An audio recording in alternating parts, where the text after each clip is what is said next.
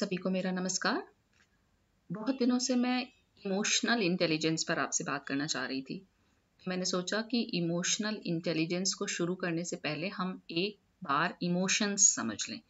तो ये video exclusively for understanding emotions and then हम इमोशनल इंटेलिजेंस शुरू करेंगे। तो शुरू करते हैं इमोशंस से।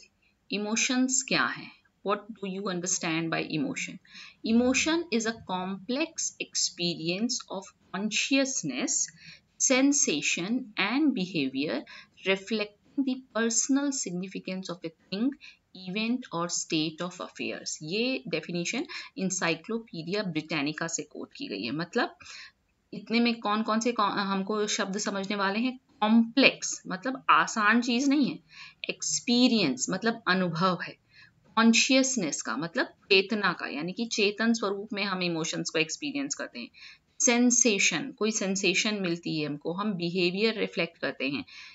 Personal significance of a thing event और स्टेट ऑफ़ अफेयर्स है ना? किसी वस्ती, वस्तु के लिए, किसी घटना के लिए या कुछ घटित हो गया हो, उन सब के परिप्रेक्ष्य में जो हम सेंसेशन या बिहेवियर या कॉन्शियसनेस का एक्सपीरियंस रिफ्लेक्ट करते हैं, वो सब कुछ क्या आ जाता है? इमोशन या हमारे संवेग।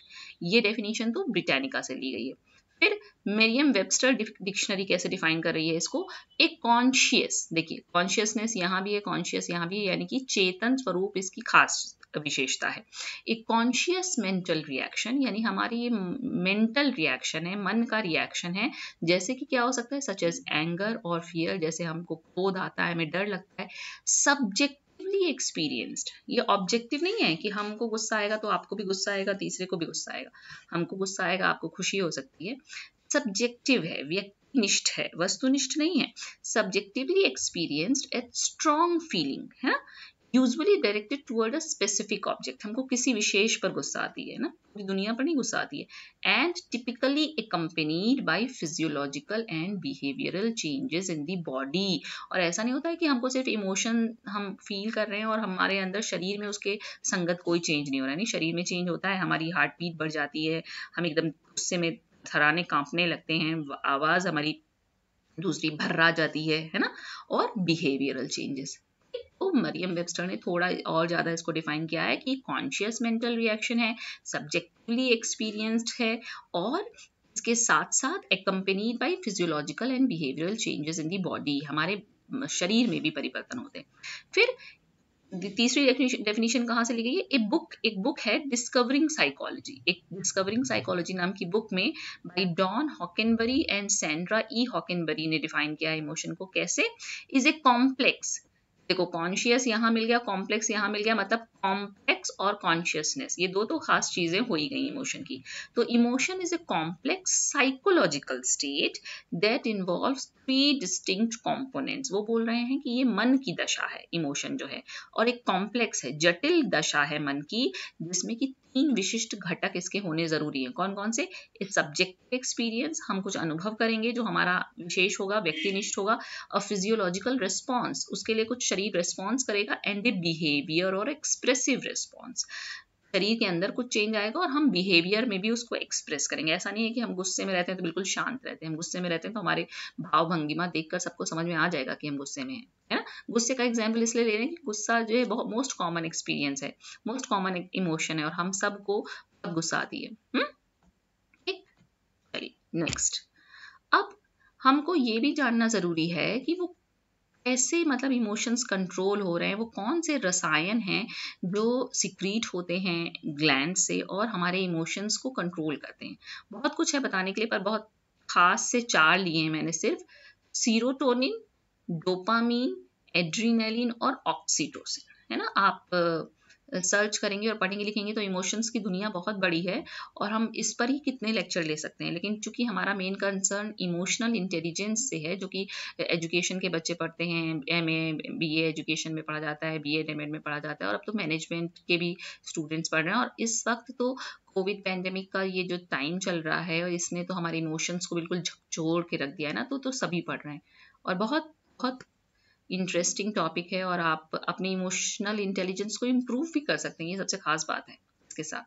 और इम्प्रूव करके बहुत बहुत बहुत फ़ायदे मिल सकते हैं हमको हमारे वर्क प्लेस पे, हमारे लाइफ में, हमारे रिलेटिव हमारे रिलेशनशिप्स में, ठीक है? तो कौन से केमिकल्स हैं? सीरोटोनिन सीरोटोनिन कैसा केमिकल है? ये important role in regulating our mood इसका बहुत इंपॉर्टेंट इंपॉर्टेंट रोल होता है हमारे मूड के रेगुलेशन में और ये एक न्यूरो है ना? यानी न्यूरॉन्स इसका लेना देना है। डोपामीन। डोपामीन का मतलब आपने शायद कभी इसका नाम सुना हो, ये it known as the feel good transmitter यानी कि ये ऐसा ट्रांसमीटर है जो अगर सिक्रीट हो जाए बॉडी में तो हम बड़े खुश हो जाते हैं।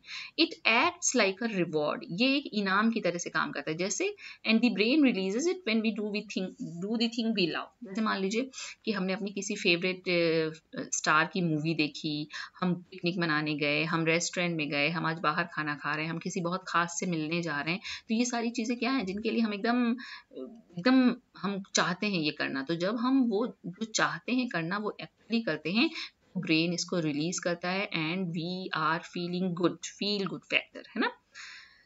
तो जब हम चॉकलेट खाएँगे, जब हम बढ़िया मूवी देखेंगे तो हम समझ जाएँगे कि हम इसलिए खुश हो रहे हैं कि डोपामीन सिक्रीट हो गया है। हम्म। फिर एड्रीनेलिन एड्रीनेलिन को यहाँ पे फाइट और फ़्लाइट लिखा है कहीं कहीं फ्राइट भी होता है मतलब थ्री एफ़ से इसका रिलेशनशिप है. फाइट मीन्स हम झगड़ा करेंगे झगड़ा करेंगे मतलब हम सिचुएशन से लड़ेंगे फ़्लाइट मतलब चले जाएँगे, भाग जाएँगे, या फ्राइट भी हो सकता है. कि हम डर जाएँगे एक सिचुएशन में। तो इसका मोस्ट कॉमन एग्ज़ाम्पल क्या हो सकता है?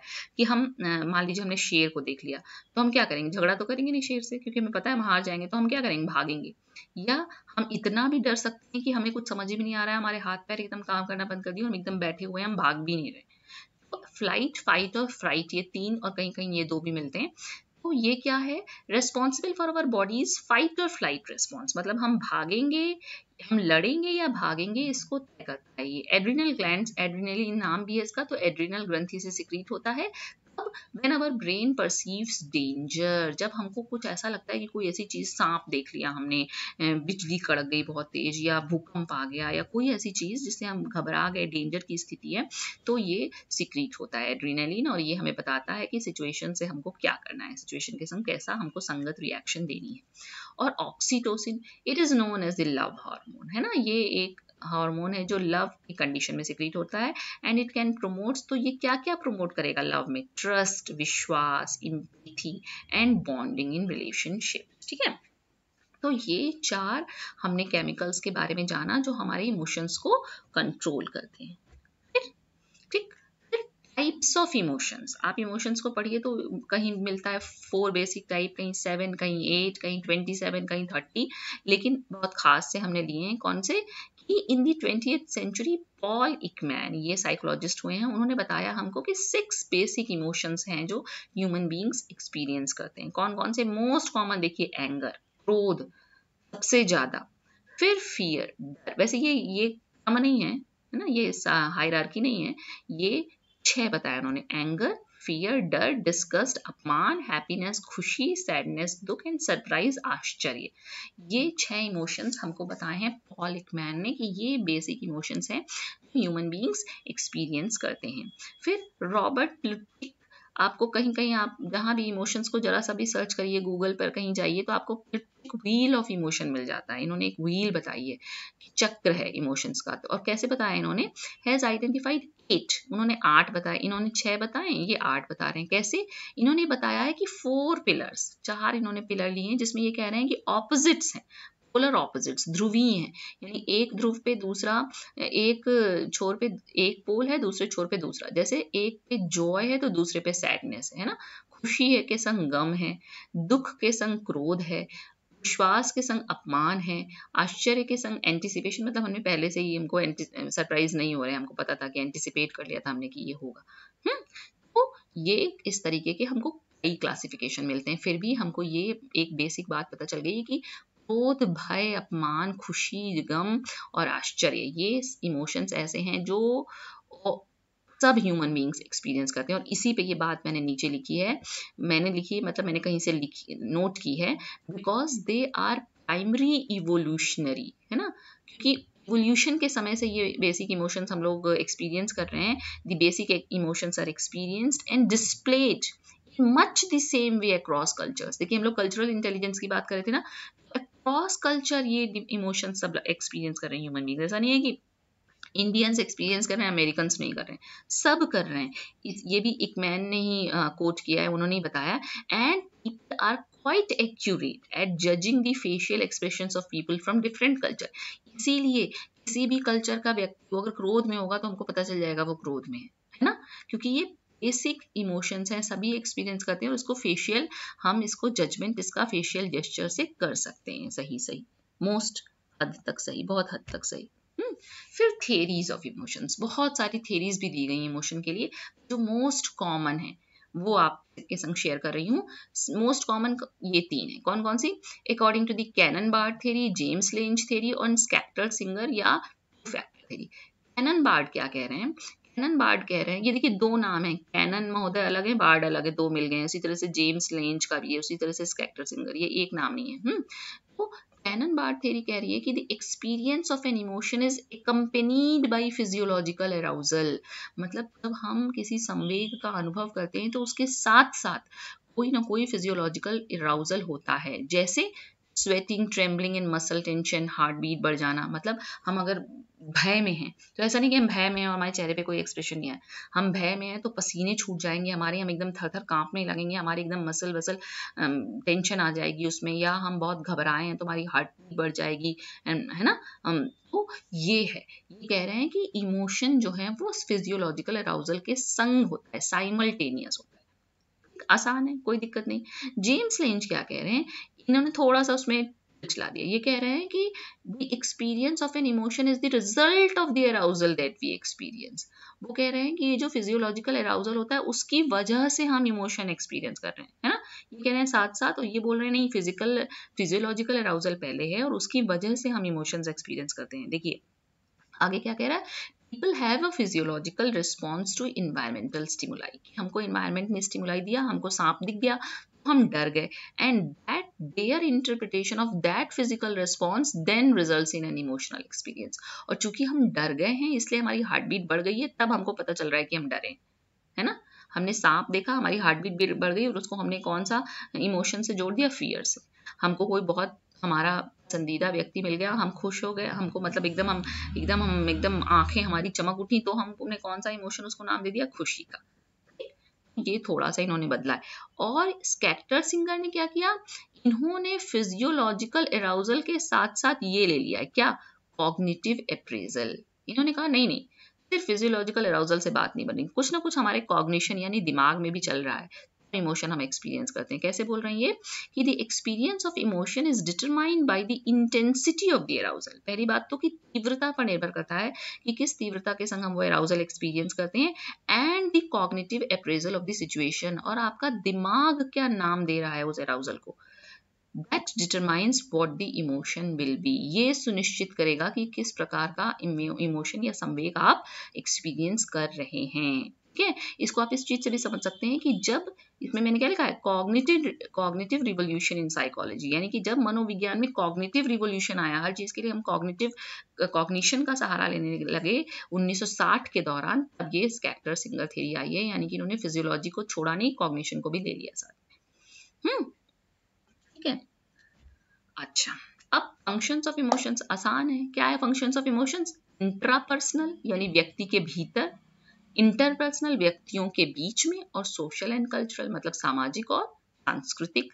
इंट्रापर्सनल क्या है? वो role that emotions play within each of us हम अब हम, आज हमको कुछ अच्छा नहीं लग रहा है। ये मोस्ट कॉमन है ना? नेशनल इमोशन है हमारा। ये आज अच्छा नहीं लग रहा है। समझ में नहीं आता है कि इसलिए अच्छा नहीं लग रहा है, किसी दूसरे से उसका कोई कंसर्न नहीं होता है।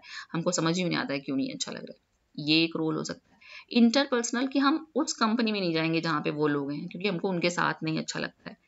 तो emotions play between individuals within group और सोशल एंड कल्चरल का मतलब कि सोशल नॉर्म्स हैं कल्चरल नॉर्म्स हैं, हम उनको, हमको उनको फिल करना है है ना? वो role that emotions play in the maintenance of social role कि हमको सोशल रोल को मेंटेन करने के लिए जो इमोशंस आ रहे हैं। है ना?